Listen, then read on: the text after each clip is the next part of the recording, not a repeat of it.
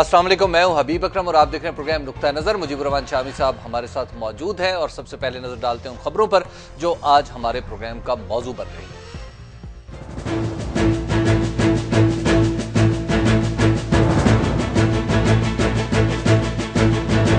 Sialkot sector में फौज की मोबिलाइजेशन और जनरल क्यानी का दौरा।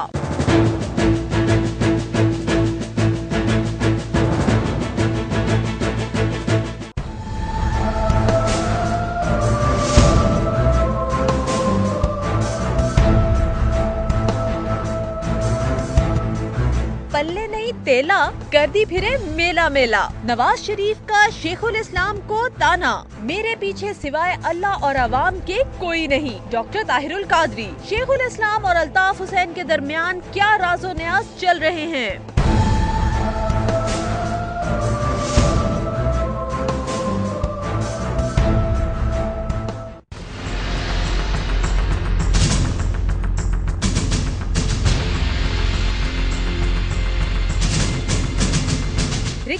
मुआहदा खत्म। पाकिस्तान में मादनियात की तलाश अब कैसे होगी?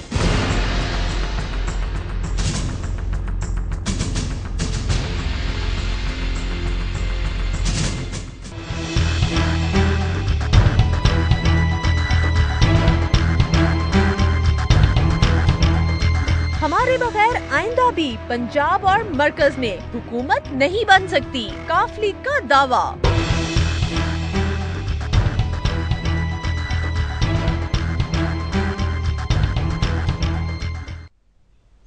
नुकता नज़र में एक बार फिर खुश आमदीद जनरल क्यानी आज सियालकोट के दौरे पर गए और शामी साहब वहाँ पे उन्होंने अपनी मोबिलाइजेशन देखी फौज की एक्सरसाइजेज देखी। ये पैगाम है उस वाक़े के जवाब में जो मकबूजा कश्मीर से लोग दराए पाकिस्तान में। हाँ क्यानी साहब ने कहा है कि जो ख़तरा है हम हर ख़तरे के लिए तैयार हैं। जो अंदर से भी है और बाहर से भी है। अच्छा। खुला हुआ भी है और छुपा हुआ भी है। तो चंद रोज पहले जो एक फौज की डॉक्ट्रिन का बड़ा शोहरा हुआ था ना? जी जी। कि हमारा दुश्मन जो है हमारे अंदर है। और अ, उस कहा गया था कि जी फौज ने अपनी प्रायोरिटीज तब्दील कर ली। हाँ, एंटी टेररिज्म स्टांस ले लिया है। एंटी टेररिज्म जी। स्टांस ये लिया है कि ये पहला खतरा है और हमारी मशरकी सरहद जो है उस पर उतना बड़ा खतरा मौजूद नहीं है। जी बिल्कुल यही समझा गया था उससे। और चंद रोज गुजरे थे कि जो हमारी कंट्रोल लाइन है या सीज फायर लाइन है उस पर हंगामा हो गया। बिल्कुल। यानी हमारे जो इंडियन आर्मी है उसने अपनी नई पोस्ट कोई बनाने की कोशिश की। ये जो कंट्रोल लाइन है ना हमारी जी जी। इस पर ये नई पोस्ट बनाने की कोशिश करती रहती है इंडियन आर्मी। ठीक। जबकि कोई नई चौकी बन नहीं सकती। यानी मगर जहाँ चौकी बनती है फिर आपके दायरा सुख में इजाफा होता है। बिल्कुल। फिर थोड़ा सा आप आगे भी खिसक सकते ठीक। तो ये अभी ये इसने एक टेंशन पैदा की है। और इसकी धमक जो है वो बरतानिया और अमेरिका तक सुनी गई है। ठीक है। यानी अमेरिकी तर्जमान ने भी ये कहा है कि पाकिस्तान और भारत के दरमियान मामला दुरुस्त होने चाहिए और हम चाहते हैं कि इनके दरमियान टेंशन ख़त्म हो। और दूसरी तरफ़ आज उन्होंने मोबिलाइजेशन की है रिजर्व्स की और सेक्टर जो है सियालकोट का दौरा किया है। अब वो हिंदुस्तान जो है वो भी पाकिस्तान को टारगेट किए रखता है। कभी कोल्ड स्टार्ट की थ्योरी है इस सरहद पर एक्टिविटी है। यानी चीन का नाम बहुत लिया जाता है। बिल्कुल। और तो कोई सरहद उतनी बड़ी है नहीं है। या पाकिस्तान की सरहद है हाँ। या चीन की सरहद है। तो क्यानी साहब ने आज मैसेज क्या दिया है कि हमारे हमने प्रायोरिटीज चेंज नहीं की? हाँ मैसेज तो ये लगता है कि भाई ये जो ये मशरकी सरहद है इससे भी आँखें बंद नहीं की जा सकती। नई दिल्ली जो है उसको भी ये पैगाम है और इस्लामाबाद को भी पैगाम है। अच्छा ये इस्लामाबाद को कैसे पैगाम? इस्लामाबाद में भी तो बहुत एक्टिविटी होती है ना। कोई मोहब्बत की बातें होती हैं प्यार की बातें होती हैं यहाँ ताइफे आते हैं सकाफती हल्ला गुल्ला होता है तरह तरह की आशाएँ चलती हैं। तो ये सब बातें अपनी जगह लेकिन भारत जो है वो पाकिस्तान को टारगेट किए हुए है। ठीक। और पाकिस्तान आँखें बंद नहीं कर सकता इससे। और हमारी जो तारीख बताती है आपको देखिए भारत ने कितनी खिलाफ वर्जी की। जब पाकिस्तान बना तो उस वक्त सारे माहों की खिलाफ वर्जी की कि हमारा असला रोका गया हमारे पैसे रोके गए। यहाँ तक पाकिस्तान के खिलाफ दबाव बढ़ाया गया कि खुद गांधी जी को मरण बर्थ रखना पड़ा। और फिर उनको गोली मार दी गई। एक इंतहा पसंद ने कहा कि ये आ, पाकिस्तान जो है उसकी साइड ले रहे हैं। तो एक भारतीय हुकूमत जो है उसका मौकफ पाकिस्तान के खिलाफ सख्त रहा। उनका ये ख्याल था कि पाकिस्तान पर जितना दबाव बढ़ाया जाएगा उतना ये कमज़ोर होगा। और ये हाथ बाँध कर बिल आकर नई दिल्ली की खिदमत में हाजिर तो वो जो हम एम एफ़ एन स्टेटस दे रहे थे वो मामला अब खटाई एम एफ़ एन स्टेटस तो देखे ना कई चीज़ें चलती रहेंगी। तजारत भी होती रहेगी मजाकरात भी होते रहेंगे। स्टेटस उन्होंने तो दे रखा है। हम भी कुछ ना कुछ उनको साथ करते रहेंगे। उसने सलूक लेकिन चौकन्ना भी रहेंगे। यानी ये बात नहीं है कि आप सराने रख के हाथ सो जाएँ कि जब चारों तरफ़ खैर ही खैर है। जी। तो पाकिस्तान जो है उसको अपनी सरहदों की हिफाजत करनी है। और ये जो हमारे अंदर जो खतरे हैं ना उनमें भी तो बैरूनी खतरों का हाथ है ना। तो जो मैंने पहले भी अर्ज़ किया था आपसे जो एटमी ताकत है हम तो एटमी ताकत को खतरा अंदर भी होता है वो बाहर का खतरा अंदर मुंतकिल हो जाता है। विच इज़ टेररिज्म ठीक है ना? टेररिज्म है जी। फिर तरह तरह के अंदर मामला जो है मुशगाफियाँ हैं टेंशन हैं प्रॉब्लम्स हैं। और फिर आपको मालूम है कि अफ़गानिस्तान में जो एक्टिविटी हो रही है उससे भी शिकायतें हमें बलूचिस्तान में जो कुछ हो रहा है उसके बारे में भी शिकायत पाई जाती हैं। तो मैंने तो अभी एक कॉन्फ्रेंस हुई थी यहाँ ये हमारी सुप्रीम कोर्ट बार एसोसिएशन ने की थी तो वहाँ मुझे भी उन्होंने मदऊ किया मैंने कहा कि पाकिस्तान और भारत को पहले तो ये ऐलान कर देना चाहिए कि एक दूसरे की जोग्राफियाई सालमियत जो है ना उसका उसकी दोनों पाबंदी करेंगी। पाकिस्तान ने यह मुआदा नहीं तोड़ा इंडिया ने तोड़ा। जब बांग्लादेश तख्लीक किया गया और मशरकी पाकिस्तान में यह साजिश की गई तो उन्नीस का जो एग्रीमेंट था वो तोड़ दिया इंडिया ने एक तीसरा मुल्क वजूद में आया। इंडियन जारहियत के नतीजे में। हमारी अपनी कमजोरियाँ जो भी हों लेकिन उसका यह मतलब नहीं है कि इंडिया कोई जवाब मिल गया कि वो हमला करते दे हम पर। तो एक इंडिया यह काम कर चुका है। बिल्कुल। और उसको अब इससे बाज रहना होगा।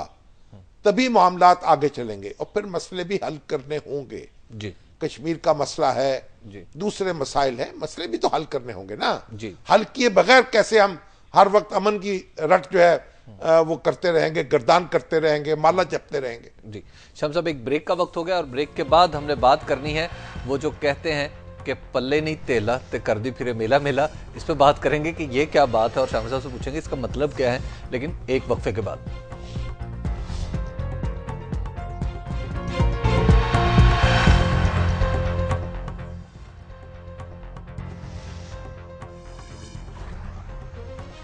नुकता नज़र में एक बार फिर खुश आमदीद। शाम साहब नवाज़ शरीफ तो कहते हैं तारुक कादरी साहब को कि जनाब पल्ले नहीं तेला ते कर दी फिर मेला मेला। और जबकि मेरी जो मालूम हैं और ख़ुद शेखुल इस्लाम के जो इंटरव्यूज़ हैं जो खबरें हैं वो तो शेखुल इस्लाम के पल्ले तो ढेर सारे धेले हैं। तो बहुत कुछ है उनके पास। ढेले? मतलब कहने का मतलब पैसा। अच्छा दे, देले? जी जी। देले नहीं भाई उनके पास तो अरबों हैं करोड़ों हैं। हम्म। उनके तो लाखों मदाहीन जो है उन पर दीवानावार पैसे निछावर करने को सामान बेच रहे हैं लोग। सामान बेच रहे हैं वो मैं तो यूरोप में और लंदन में जब मैं गया तो मैंने उन्होंने कहा कि ये तो ऐसे जलसे होते हैं कि लोग बस नोट उन पर निछावर करते चले जाते हैं। कमाल तो है। ये तो अल्लाह ताला की बरकत है और रहमत है उनके ऊपर। तो ये हमारे नवाज़ शरीफ साहब ने कहा है कि पल्ले नहीं तेला ते कर दी फिर मेला मेला। तो हज़रत के पास बहुत कुछ है इसलिए वो मेला रचा रहे हैं। ठीक है। बाकी ये जो हमारा मुहावरा है ना इसका मतलब यह है कि अगर आपके पास कुछ भी नहीं है तो मेले का शौर शौक क्या चलाया आपको यानी ये जो भाई मेले में जाऊँ मुझे मेले में ले जाओ तो पैसा एक नहीं है तो मेले में जाएँगे को पैसा खर्च करना करेगा शॉपिंग होगी कुछ आप सर्कस देखेंगे कुछ आप पंगूड़े पे बैठेंगे कुछ आप मरुंडा खाएँगे कुछ कोई बोतल पियेंगे बांटे वाली अगर मिलती हो अब हाँ। तो ये सारे पकौड़े खाएँगे समोसे खाएँगे तो कुछ पैसे ढेर सारे होने चाहिए ठीक है। अब वो कहती हैं कि इनके पास तो कुछ नहीं कुछ है। नहीं। गोया इनके पास कोई अफराधी ताकत नहीं है। अच्छा अच्छा। कोई सियासी ताकत नहीं है। ठीक है। तो ये मेला नहीं रचा सकते। हाँ। मगर मेरा ये ख्याल है कि हज़रत जो है उनके पास जानसार मौजूद है। कितने? मेला वो रचा लेंगे। क्वेश्चन तो ये कितने? कितने? ओहो मैं कहता हूँ आजकल आप चालीस हज़ार बंदा इकट्ठा करते हो चार लाख बन जाता है। एक लाख इकट्ठा करते हैं वो दस लाख बन जाता है। देखिए अखबारी तजिए तो ऐसे ही होते हैं ना। ये तो मैंने एक मुस्लिम लीग नून जो है जी। वो भी बड़ी गौर खौस में मसरूफ है कि हज़रत किस को कैसे रोका जाए कैसे इनकी हाजिरी कम की जाए और रहमान मलिक साहब भी लगे हुए हैं। उन्होंने तो ये भी फरमाया है कि भाई शनाख्ती कार्ड चेक करके सवारियाँ बैठाई जाएँ और ड्राइवर और कंडक्टर जो हैं वो सारे मामला के जिम्मेदार होंगे और जो कंबल पोष लोग हैं उनसे होशियार रहा जाए। कंबल पहन के कोई ना आए तो क्या बनियान पहन के आए लोग? तो ये शदीद सर्दी में जो लॉन्ग मार्च का तजर्बा वो करने जा रहे हैं ये भी एक करामत ही है उनकी। इसके नतीजे में दहशत गर्दी तो जो होगी सो होगी। जी। सर्दी में भी लोग बीमार हो सकते हैं बहुतों को नमूनिया हो सकता है। बिल्कुल। तो ये हज़रत ने जो फैसला किया है हाँ। अब वो कहते हैं मैं पीछे तो नहीं। लेकिन शाम साहब वो कहते हैं मेरे पीछे जो है सवाए अल्लाह के और अवाम के कुछ नहीं है। वो उन्होंने वो तीन प्रेस रिलीजों का भी ज़िक्र किया अमरीका बरतानिया और फौज तो तीनों कह चुके हम नहीं है। और वो चीफ जस्टिस साहब ने भी कुछ ऐसा इशारा दिया था हाँ उन्होंने भी कुछ कि जिससे मालूम हो कि भाई जो अदलिया वो स्टेक होल्डर बनाया ना उन्होंने आर्मी को और जुडिशरी को। जी। अब वो उससे बड़ा रोप तो पड़ा। लोगों ने ये समझा कि भाई इनके पीछे कोई है इसलिए तो जनाब इतनी धौसते नाम ले रहे हैं। अब मैं आपको लतीफ़ा बनाऊँ। एयर मार्शल असगर खान साहब के बारे में ये मशहूर था भुट्टो साहब के दौर में कि इनको गिरफ़्तार नहीं किया जाता क्योंकि इनके पीछे अमेरिका है। और अमेरिका ने यह कह रखा है भाई इसको गिरफ़्तार नहीं करना। तो एयर मार्शल असगर खां को गिरफ़्तार करने से गुरेज किया जाता था। और जब भी उनको घेर घार के उनका रास्ता रोका जाता या बंद किया जाता पुलिस उनको गिरफ़्तार नहीं करती थी। अच्छा। आखिरी दिनों में एयर मार्शल असगर खान साहब गिरफ़्तार हो गए और खाकसार भी उनके साथ था। अच्छा। और खुर्शीद कसूरी साहब महमूद अली कसूरी साहब जावेद हाशमी साहब कब कट्टे गिरफ़्तार हो गए। ठीक। यानी जिनके पीछे अमेरिका नहीं था वो भी अंदर। गिरफ़्तार हो गए ना उस वक्त। अब जो गिरफ़्तार हो गए तो जनाब एक चीनी रेस्टोरेंट था उसमें हम खाना खा रहे थे। वहाँ पकड़ लिया गया भुट्टो साहब के आखिरी दिनों में। और इल्ज़ाम यह लगाया कि एक सरकारी गाड़ी जो है ना उसका प्लग और पाना जो है हमने चुराया है। और जो उसको धमकाया है ड्राइवर को और सारे लोगों पर यह मुकदमा कायम हुआ अंदर हो गए। अच्छा। तो एयर मार्शल असगर खान साहब जो थे वो रोज उठते थे और कहते थे देखिए उसकी बात सच निकलती है कि नहीं निकलती? उसकी बात सच निकलती है कि नहीं निकलती? और तजस्सुस पैदा करते थे। हमने उनसे पूछा कि भाई बताएँ तो सही कुरेदते रहे कुछ सोच दबाव डालते रहे। आठ दस दिन के बाद उन्होंने कहा ये राज फाश किया। उन्होंने कहा ये ब्रॉड वे बेकरी है रावलपिंडी में बड़ी मशहूर बेकरी है। उसके मालिक थे नजीर। अब पता नहीं मेरा ख्याल है कि अल्लाह को प्यारे हो चुके। वो बड़े मशहूर नजूमी थे दस शनास थे। कि भुट्टो साहब का हाथ उन्होंने देखा और असगर खान का हाथ भी देखा। तो उन्होंने भुट्टो साहब को यह कहा कि असगर खान को आपने गिरफ़्तार नहीं करना। अच्छा। अगर आप गिरफ़्तार करेंगे तो आपका इकतदार खत्म हो जाएगा आपके और उनके सितारे इस तरह टकराएँगे। इंटरेस्टिंग तो भुट्टो साहब ने अपने पूरे दौरे हुकूमत में पाँच साल उनको गिरफ़्तार नहीं किया। अच्छा। और यहाँ शोहरा रहा कि अमेरिका उनके पीछे है इसलिए उनको पकड़ा नहीं जाता। तो दरअसल वो नजूमी साहब पीछे थे। तो अब एयर मार्शल असगर खान ने देखिए कौन अब आप तो पकड़ लिया। ठीक है। अब आपने देखा कि पकड़ लिया और चंद महीनों के बाद भुट्टो साहब का इकतदार खत्म हो गया। तो तो नजूमी सच्चा निकला। तो कादरी साहब के पीछे तो कौन है? कादरी साहब के पीछे भी कोई ना हो लेकिन रोब उनका बन गया। कि जनाब एस्टेब्लिशमेंट है नहीं जनाब अमेरिका है नहीं जनाब बरतानिया। और हो सकता है कि हमारे अल्ताफ हुसैन साहब जो है ना जी जी। वो भी इन बातों से ही मुतासर हो गए हों। और उन्होंने ज्वाइन कर लिया। और उन्होंने कहा कि जल्दी से इनको ज्वाइन करो क्योंकि इतनी कर्रोफर से जा रहे हैं। मामला हाथ से ना निकल जाए। बस ना कहीं चल जाए। और वो धड़ाम से सवार हो गए। तो और अब तो मैंने सुना है जी। मुझे किसी महरम राज ने बताया है हाँ। कि अल्ताफ हुसैन साहब हज़रत को टेलीफोन करते हैं रोज। अच्छा। और सुनगुन लेते हैं कि भाई कुछ कहीं से खबर आई हाँ। कोई पैगाम आया कुछ हुआ पेशरफ्त हुई कोई अलहाम आया। अच्छा। अब वहाँ से हज़रत जो है पता नहीं क्या जवाब देते होंगे उनको?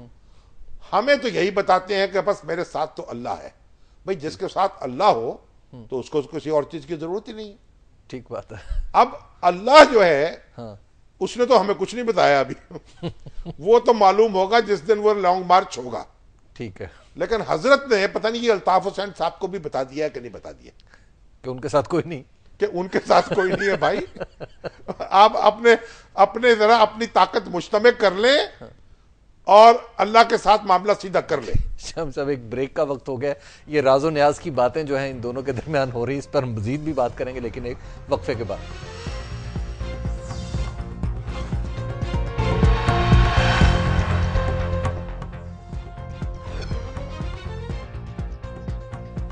नज़र में एक बार फिर खुश आमदेद।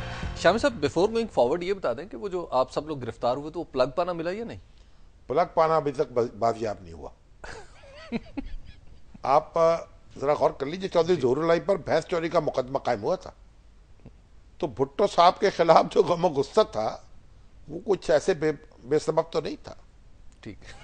शाम साहब जो हम बात कर रहे थे कादरी साहब के हवाले से अब इमरान खान साहब ने भी कहा है जनाब ठीक है हमारे तो ठीक है लेकिन मैं आपके साथ चलने के लिए तैयार नहीं हूँ। में साहब कहते हैं कि चौदह जनवरी को सबसे ज़्यादा जो पछता रहा होगा आदमी वो इमरान खान होगा। अच्छा। और फिर उन्होंने ये भी फरमाया है कि जब इलेक्शन होंगे अगर मौजूदा सेटअप में इस तरह हो गए तो फिर जो धांधली होगी उनमें उसके बाद सबसे बड़ा जो अफसरदा आदमी होगा मुझे तलाश कर रहा होगा वो इमरान खान होगा। बट इमरान खान ने तो कंसीड किया है फखरुद्दीन जी इब्राहिम की अपॉइंटमेंट पे। नहीं ये तो कादरी साहब ने फरमाया कि देखिए जो होने वाला है अगर मेरी रिफॉर्म्स के बगैर इलेक्शन हो गया तो फिर इमरान खान साहब खातर जमा रखें।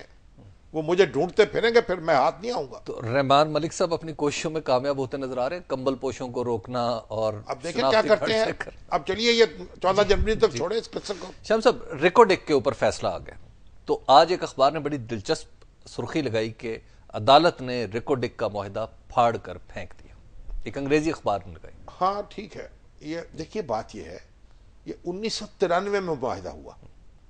बीस साल के बाद उसको फाड़ के फेंका गया। वॉइड एबनिशन ठीक है। यानी इब्तदा ही से गलत था। कितनी हुकूमतें आई कितनी गई और ये मुआहदा जो है किसी ने इसको देखा नहीं उठा के किसी ने इसका जायजा नहीं लिया। और रद्दे पर रद्दा चलता रहा गलती होती रही कोताही होती रही।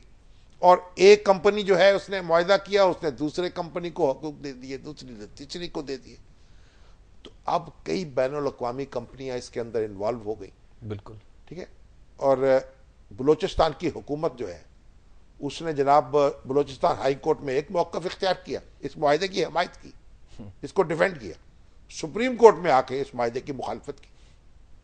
और आपको तो मालूम है बड़े बड़े वकील जो थे उन कंपनियों की तरफ़ से पेश हुए। स्टेक्स बहुत हाई अब्दुल हफीज पीरजादा जनाब खालिद अनवर और बलूचिस्तान की हुकूमत की तरफ़ से हमारे जनाब दोस्त एडवोकेट जनरल उनके अमानुल्लाह कनरानी साहब और इधर जनाब वो हमारे अहमद बलाल सूफी साहब एक नौजवान वकील।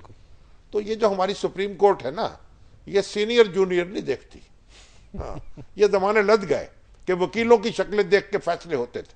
ठीक है। तो अब तो कुछ दलाइल भी सुने जाते हैं शक्लें नहीं देखी जाती। लेकिन देखे जी। सुप्रीम कोर्ट ने जो फैसला किया वो किया लेकिन हमारे लिए बहुत से सवालिया निशान पैदा हो गए। हाँ।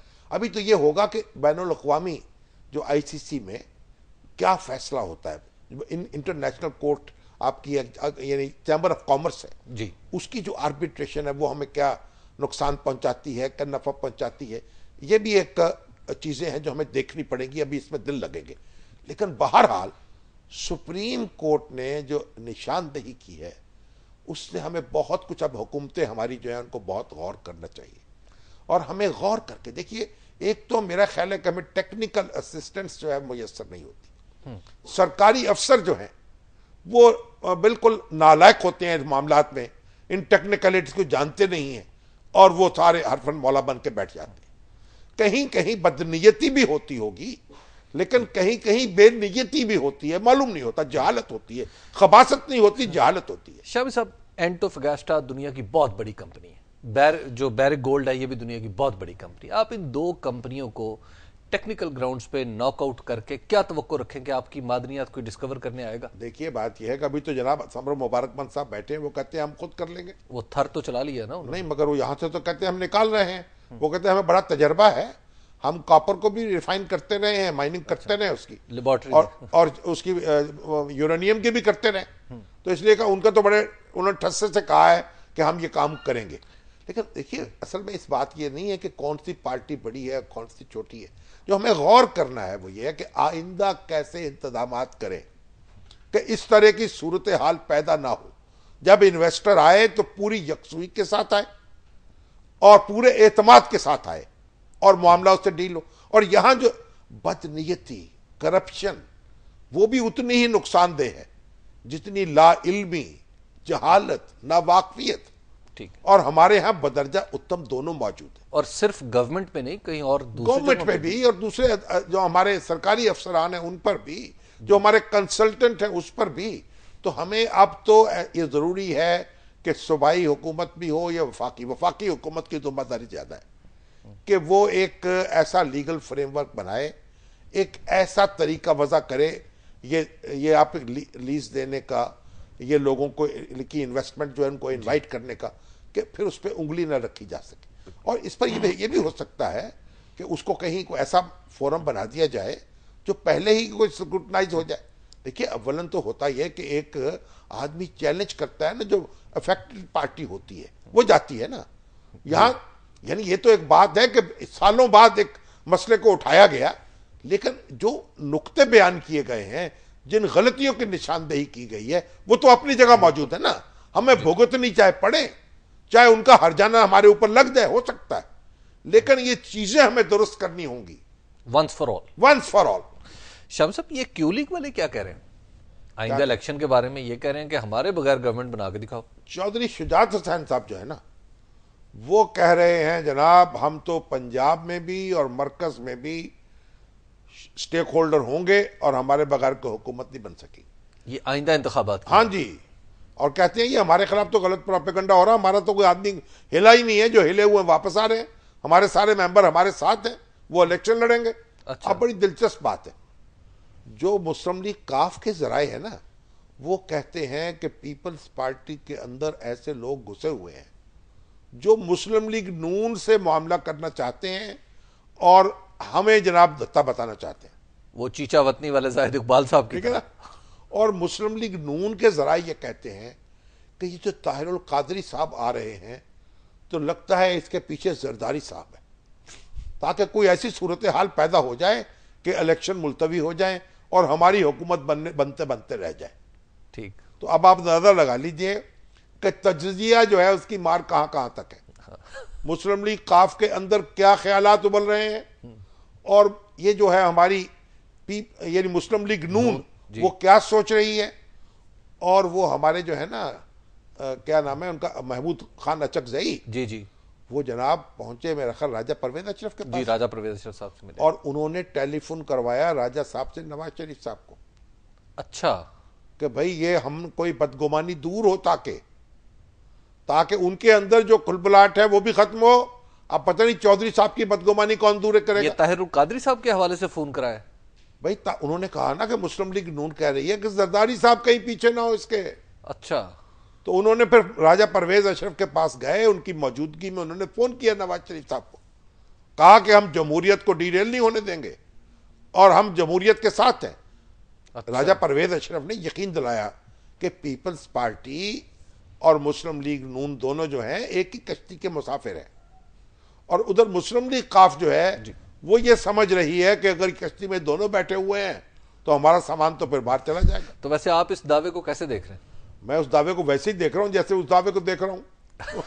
ये दावे सारे जो हैं ये दावादारों के सपोर्ट कर रहे हैं। हम तो इनके बारे में न कुछ न हियों में न शियों में हम क्या अर्ज़ कर सकते हैं? लेकिन दिलचस्प बातें ज़रूर हैं ये। एक वक्त है ब्रेक का ब्रेक के बाद हम आपके सवाल भी लेंगे। हमारा फेसबुक ट्विटर और फेसबुक ट्विटर फेसबुक और एसएमएस पे आपके सवाल जो आएँगे और फ़ोन लाइन पर भी जो आपके सवाल होंगे वो शामी साहब के हम में पेश करेंगे और उनका नक्ता नज़र मालूम करेंगे लेकिन एक वक्फे के बाद।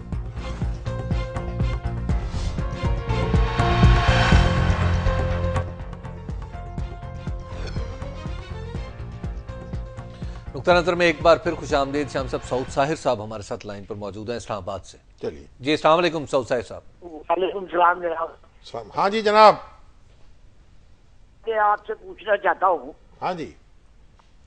एक तो ये है कि ये मुल्क पाकिस्तान है एक आज़ाद और खुद मुख्तार मुल्क है कि जो एक गैर मुल्की यहाँ आए और सारे मुल्क को यरगमाल बना ले। फौज पुलिस हमारे सलामती के इदारे हमारी हुकूमत जो है वो सब बेबस उसके सामने हो जाए। एक तो इसका जवाब चाहिए। और दूसरी बात यह है कि सरकारी दो आलम वसल्लम के बारे में ये जो कुछ कहता रहा और जो बेअदबी देखिए और देखिए देखिए देखिए देखिए ये ब- ये बड़ा नाजुक मामला है। इसको थोड़ा सा यहीं रोक लें। जी। सऊद साहिर साहब बड़े सीनियर अखबार नवीस हैं हमारे। रावलपिंडी के इस्लामाबाद के और मेरे बड़े पुराने साथी हैं। तो वो जज्बाती हुए हुए कुछ तारुल कादरी साहब पर। जी। देखिए बात यह है कि तारुल कादरी साहब का दोहरी शहरीत तो है लेकिन हम ये नहीं कह सकते कि वो गैर मुल्की हैं। क्योंकि पाकिस्तान का जो कानून है ना उसने इजाज़त दी है कि आप दूसरी शहरीत रख सकते हैं। कनाडा की और कॉमनवेल्थ कंट्रीज़ की है ज़्यादातर। अब अगर इलेक्शन लड़ेंगे तो शहरियत छोड़ देंगे। अल्ताफ़ हुसैन साहब जो हैं वो बरतानिया के शहरी हैं और तारुल कादरी साहब कनाडा के शहरी हैं बल्कि बी हैं। मोतरजीन और हासदीन तो कहते हैं कि तो अगर दूसरी सूरत में वापस कनाडा चले जाएँगे। तो सऊद साहिर साहब को चाहिए कि अगर वो उनको कायल कर सकें तो मुनासिब कर लें। जी फजल शाह साहब हैं फैसलाबाद से। जी सलाम शाह जी। क्या हाल है जी? आपकी दुआ है जी शुक्र अल्लाह का। शामी साहब एक तारीखी सी बात एक मिनट करूँगा कि कराची कैपिटल रह जाता तो बड़ा अच्छा था इस्लामाबाद आने वाले रह जाते एक तो बात ये है। चलिए अब कराची होता तो कराची में भी धरने रोज होते। इतनी इतनी दूर से ना जाते। दूसरी बात ये शामी साहब एक सवाल मेरे जेहन में आता है इस्लामाबाद तो बनाया था यूब खान साहब ने। प्लाट हो गया एक कराल का ढाई ढाई करोड़ का। यूब साहब का भी कोई प्लाट था वहाँ पे जब उन्होंने अयूब साहब का एक मकान था छोटा सा वो उसके अलावा उनकी कोई जायदाद वहाँ नहीं थी। इस्लामाबाद में। इस्लामाबाद में। और बल्कि मैं तो ये देखिए रावलपिंडी जब वो रिटायर हो रहे थे मेरे एक अज़ीज़ थे बहुत करीबी कर्नल मोहम्मद अमीर खान। वो डायरेक्टर थे परचेज के सीडीए में पहले याया खान के साथ। तो उन्होंने मुझे बताया कि जब अयूब खान रिटायर हो रहे थे यानी उनको एक्सटेंशन नहीं मिली थी 58 की बात है ये ये 57 की। जी। तो रिटायर उनके सामान बनना शुरू हो गया। सामान बनना शुरू हुआ तो पूछा गया कि सामान जाए। अचानक किसी ने पूछा सामान जाएगा कहाँ? क्योंकि उनके पास तो मकान रावलपिंडी में कोई नहीं था। अच्छा। तो फिर मालूम हुआ कि उनका रिहाना जाएगा उनके घर में। अच्छा। तो अयूब खान साहब के खिलाफ परोपे गंडे तो बहुत किए गए और तोहमतें बहुत लगाई गई। लेकिन उनका एक मकान था इस्लामाबाद में। और वो भी उनके बेटे ने गौर अयूब साहब ने क्या बेच दिया है। जी। अच्छा एक बात सुनिए अब ये राव आरिफ साहब हैं पेरिस से। इनका एस एम एस आया है कि अदलिया को अगर स्टेक होल्डर बना रहे हैं तारुल खादरी साहब तो फिर वज़ीर आज़म निगरान बनने चाहिए अरसलान इफ्तार साहब को। बहुत साहिब तजवीज उनके ख्याल में उनसे ज़्यादा दयानतदार जहीन और हकदार कोई और नहीं हो सकता। ठीक तो आरिफ साहब आप तो पेरिस में बैठे हैं कुछ भी पैगाम भेज सकते हैं। हम तो यहाँ लाहौर में रह रहे हैं जनाब। तो जो आप ताहिर काजी साहब अगर आपकी तजवीज़ पर गौर कर लें तो उनकी मर्ज़ी है। और सुनिए अब जावेद बुखारी साहब हैं उन्होंने जनाब एक काजी हुसैन अहमद साहब के बारे में एक शेर भेजा है कि कड़े सफ़र का थका मुसाफिर। ये जावेद बुखारी एडवोकेट है कराची के और अदलिया बहाली तहरीक में बहुत एक बड़ा बुनियादी रोल अदा। किया। बहुत मुतहरक माशाल्लाह शख्सियत है। कड़े सफ़र का थका मुसाफर। थका है ऐसा कि सो गया है। वाह। खुद अपनी आँखें तो बंद कर ली हर आँख लेकिन भगो गया है। वाह। और हमारे वसीम चौधरी साहब कहते हैं वो सियासतदानों को जोड़ता था जालमों को भगाता था हुक्मरानों को डराता था। लेकिन अफगान मसले में और अफ़गानिस्तान की आज़ादी के हवाले से जो उनका किरदार है वो कहते हैं आपने उस पर रोशनी नहीं डाली। काजी हुसैन अहमद का। हाँ जी। काजी हुसैन अहमद साहब का। ये बात आपकी जगह दुरुस्त है। इस पर इंशाल्लाह हम आइंदा प्रोग्राम गुफ्तगू करेंगे। जी। कल या परसों। जी। सुफियान साहब है जी फैसलाबाद से। जी सलाम वालेकुम सुफियान। जी वालेकुम सलाम। मेरा शामी साहब से सवाल है। हेलो। जी जी जी फरमाएँ। शामी साहब मुझे ये बताइएगा ये जो कनाडा से आया हुआ है ये हमारे मुल्क के 18 करोड़ लोगों को यरगमाल बना के लेके जा रहा है। किसी एक जान का भी नुकसान हो गया। Who will be responsible about जी सुफियान साहब। सुफियान साहब जरा जरा जज्बात को काबू कर लें और अदब आदाब को मलहूज रखें। ताहिरुल कादरी साहब से इख्तलाफ करें लेकिन जरा ध्यान के साथ तरीके से सलीके से। मैं तो बार बार कहता हूँ उनको ताहिरुल कादरी साहब को। भाई अपनी कंपेन जो है, उसका टारगेट मुतयन कर लें। अना हजारे मुझे याद आता है बार बार उसने करप्शन के खिलाफ कंपेन चलाई थी इंडिया में। धरना भी दिया था। और उसी तरीके से आप दे दें, ज़्यादा बड़ी बात, बड़े जो है ना टारगेट आपने ना लगाएँ और सिस्टम के अंदर रहकर उसको दुरुस्त करें। ये उनके हक में भी बेहतर है, हमारे हक में भी बेहतर है। ये हुमा रोज साहिबा हैं गालिबन। इन्होंने आपसे पूछा है कि शाम साहब आप लॉन्ग मार्च में शिरकत कर रहे हैं? भाई बात यह है कि ये तो एक राज है। अच्छा। मैं आपको बता नहीं सकता।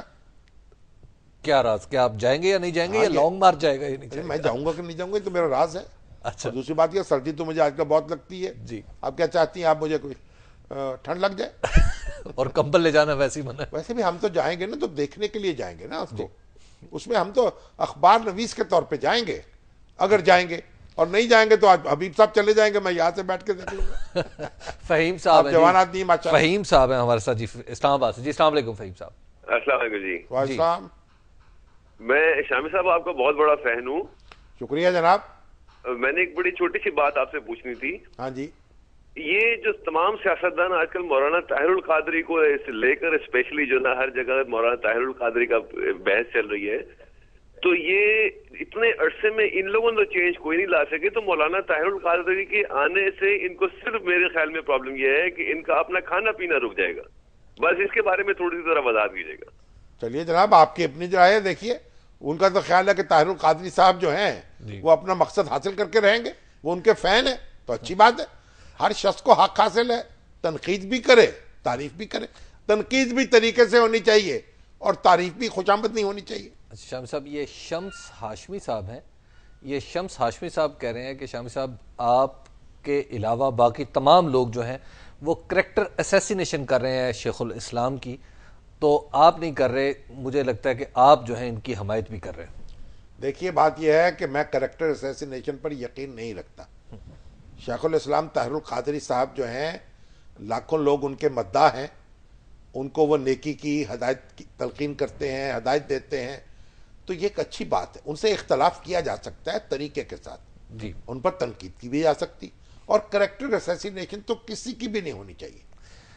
अतर जराल साहब हैं जी। अतर जराल साहब ये पूछ रहे हैं कि डॉक्टर ताहिर साहब का जो नेटवर्क है वो अराउंड द वर्ल्ड है तो उनके ऊपर जब भी कोई पैसों का इल्ज़ाम लगाता है तो वो एक लघव इल्ज़ाम है। बड़ी अच्छी बात है। जो इल्ज़ाम लगाने वाले हैं सुन लें। वैसे भी कोई देखिए मैं पैसों के अवाम जो होते हैं ना। लोग पीएनए की मूवमेंट के बारे में क्या क्या बातें करते हैं हमारे पीपल्स पार्टी के दोस्त? लोग उस वक्त तो पैसा इतना नहीं था मुल्क में जितना आज है। आज तो पैसा जो है वो फजाओं में तैर रहा है। लेकिन उस वक्त भी लोग जो थे दीवाना वार पैसा जो है निछावर करते थे। मैं मोहतरमा फातिमा जना की कंपेन थी उस वक्त स्टूडेंट लीडर के तौर पर मैंने उसमें हिस्सा लिया। उस वक्त भी पैसा लोग बिल्कुल निछावर करते थे। अच्छा। और पीएनए की मूवमेंट में भी करते थे। यानी जब लोग कमिट कर जाए किसी के जो लोग किसी मकसद से वाबस्ता हो जाते हैं पाकिस्तानी वो फिर उस पर निछावर करते हैं तन मन और धन। एजाज साहब हैं जी हांगकांग से। जी सलाम वालेकुम इजाज साहब। वालेकुम अस्सलाम। जी सर मैं शामी साहब से एक सवाल करना चाहता हूँ अगर आप फरमाएँ जनाब बिल्कुल इजाज़त है।